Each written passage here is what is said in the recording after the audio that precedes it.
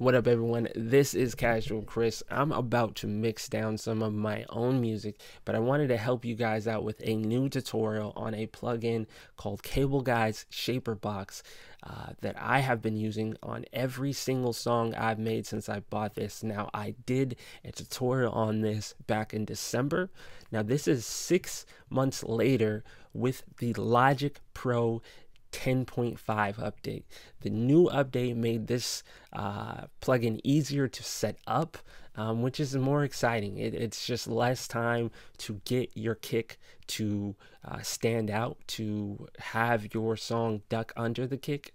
Um, so it's a, it's a great tool, and they, this new update just made it super easier to use. So I want to show you how I've been using it with the new Logic 10.5 update.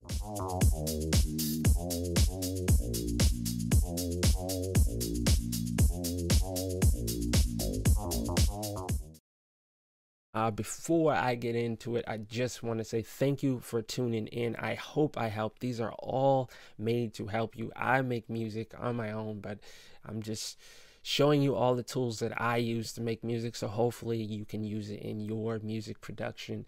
If I've helped you in any way, if you can please hit subscribe, that would mean a lot to me. Uh, this is what I'm doing. This is what I'm doing for the rest of my life. I have made that decision in January 2018.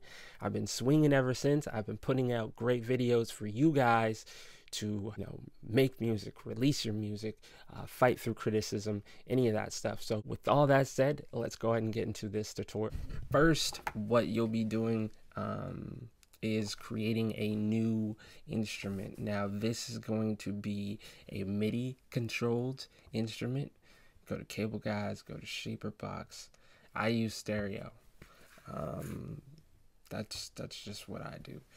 So now here it is right here. I'm going to name it Cable Guys Shaper Box. So you guys know what's up. Okay, so this is the plugin. Um, what I'm going to be using it for is to duck the bass or basically every sound. I, I duck everything, anything that has weight. And when I say weight, I mean if you take a, a EQ and you cut all the low frequencies out all the way until you hear that sound go weak, until you hear it sound thin. All that stuff over here, that's what's getting sidechained. So uh, that's the best way to explain it uh, that I found. I've seen a bunch of techniques on it, but this is what I've been doing with all of my uh, songs. Um, and it's worked out really well for me. So here's a here's what you would be doing. You'd hit the volume and then you would be going into ducking. You could use any one of these waveforms. Personally i use this waveform and then i'll show you what i do next but now we got to get it set up. So to get it set up uh, you'd be going to your drums. So my drums are right here. Um, Again, this is the new Logic 10.5 update, which is amazing, easy to use, and it made Cableguys uh, plugin Cableguys ShaperBox really, really easy to use, set up now. Before, it was a little bit more difficult. If you saw my old tutorial, uh, there's a lot more steps involved. And if you are using drum loops, you still have to use that same um, way of getting things set up for this. So if you're using a loop, um, if you're not using 10.5 update, I have an old video for this, but this is this is going to be 10.5. So here it is. Um, in 10.5, it's laid out as a sequencer already. So it's it's ready to go. So really, all I would be doing is highlighting the entire row hitting the option, dragging it all the way up to the cable guys, and dropping it. Boof. So now I have all the MIDI information um, of my drum, but I don't need I don't need the side chains. I don't need the hi-hat. I don't need the claps. I don't need anything else. I just need the kick. I just need the kick information. And um, so this is perfect. This again is very beneficial Uh, if you aren't using four on the floor, so when I mean four on the floor, I mean the one, two, three, four, the dance music, the boom, boom, boom, boom, the pumping. If you aren't doing that, which I don't do that on every song, I have hip hop songs, I have different drum tracks, I have drums all over the place. Uh, this makes it easy um, to sidechain those parts um, too. So check this out. I will take out all the hi hats on this, which is this notes right here. I know that because I know that I made this song. I'm going to take out my claps. So the only thing that's going to be side chaining are these kicks right up here. Um, I could play this for you so you know what they sound like.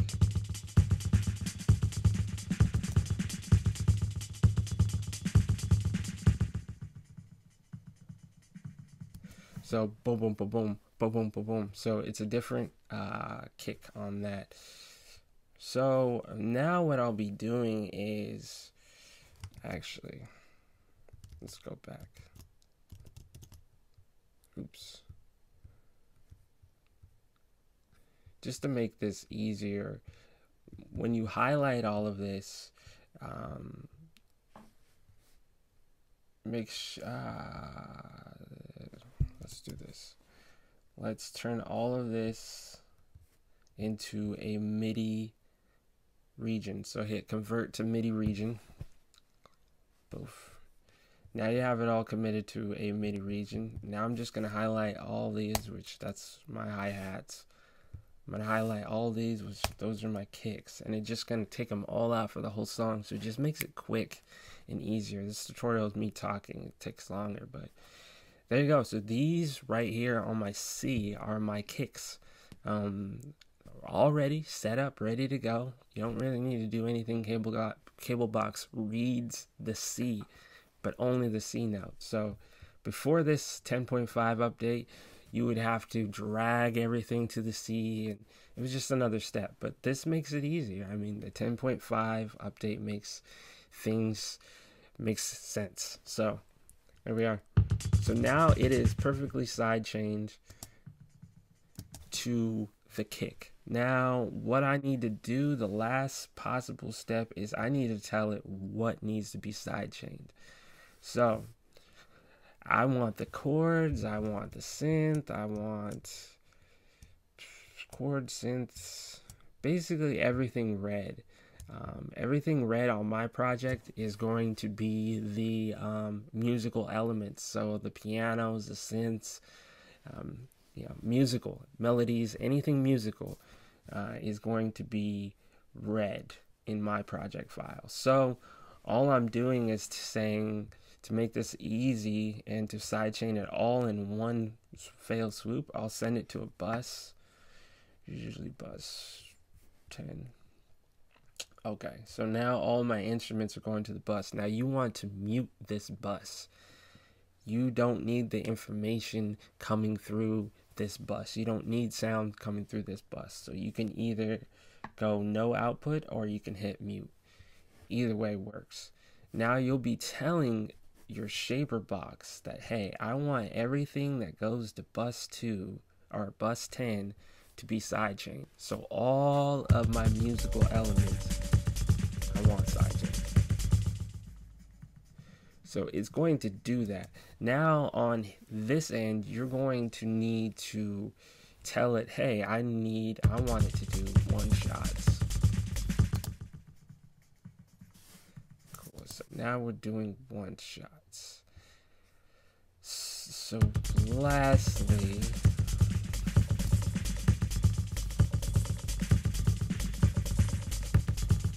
need to tell it, you need to move the waveform of this because if you look at the top corner, top left band section of the cable guys, it's it's it's ducking, but it's not coming back up. It's not pumping back up.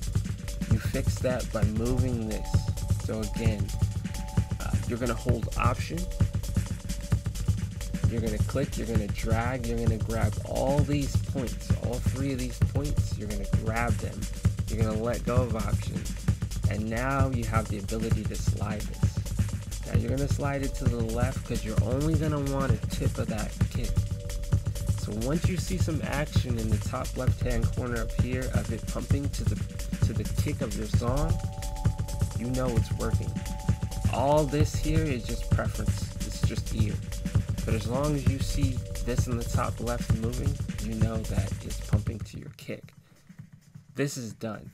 Now, this might sound weird because it's it's coming through. It's a recording issue. Uh, so if it doesn't sound great to you, sorry, it's a recording issue. I don't know. I'm just trying to help you guys with this. But the element, this is how you set it up.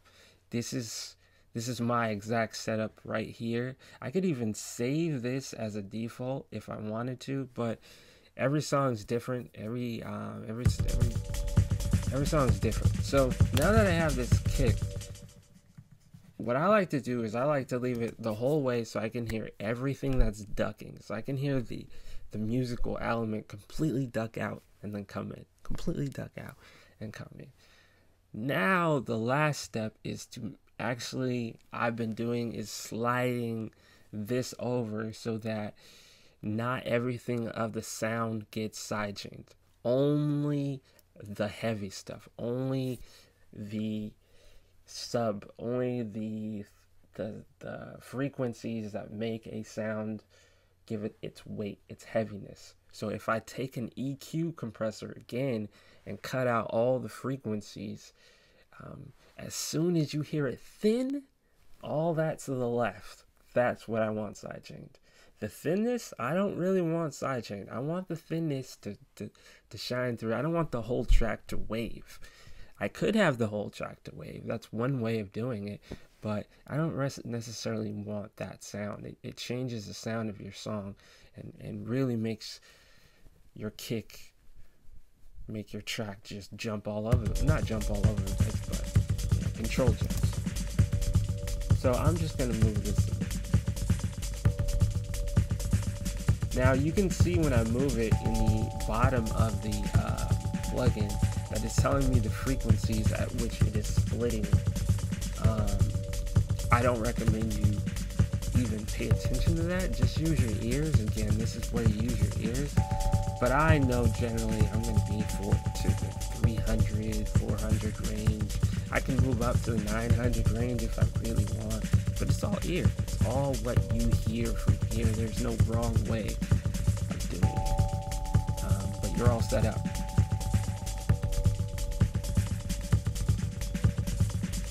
I want, I'm going to put it in the 600. I want the kick to take all of that. I want you to hear that kick to shine through. Uh, but the top end, I still want the chords to still sit there. I don't want the chords to duck. Because the chords are sitting on the one. The chords are sitting on the doom, right when the kick hits the chorus hit. So I don't necessarily want that entire sound to duck out. No, I just want the kick, the bottom end to shine through on that sound. So that is exactly what this shape is. Um, I don't know if there's a way to could save this and put this in the um, video so you so you guys can have it, but I really, really want you guys to get used to using this on your own. I really want you guys to hear it with your ear on your own. One of the earlier mistakes that I made is I would copy um, settings of compressors or settings of EQs. You know, I would look and I would look at the settings, you know, and uh, that didn't help me because every song is different. Even every single song is different. You wouldn't be using the same thing, um, except for this.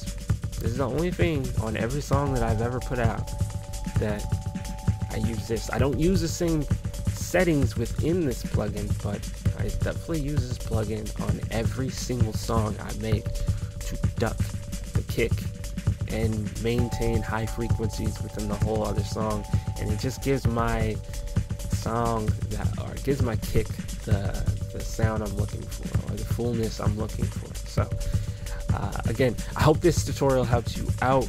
Uh, I wanted to go over uh, the 10.5 logic um, update because uh, it is a huge update and it made this thing easier to set up and just a few more notes for you guys on this plugin. Now, when you're not trying to duck the kick, this plugin still likes to duck the kick. What I have found to get around it is to automate the mix button. So the mix of this plugin in the top right hand corner will basically tell it to turn off so I just automate the actual song to turn off when I don't want it to actually duck the kick, usually during a breakdown or the intro. And then when I want it to duck, I just automate it back up to 100%. So just a quick tip on that, that I found a workaround for, for that. Because I, I do have a problem where during breakdowns or intros where I don't want the kick ducking. I, I don't want, there's no kick at all in the sound.